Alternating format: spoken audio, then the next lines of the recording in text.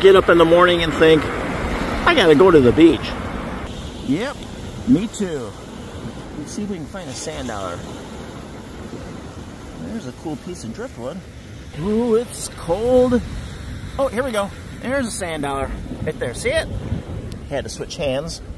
There we go. Sand dollar make you holla. Number one. Let's see. Find another one. Not this spot. Oh, here we go. Set that one down. Sand and you holla. Number two. So if you love getting up in the morning and finding sand dollars, subscribe for more beachy adventures.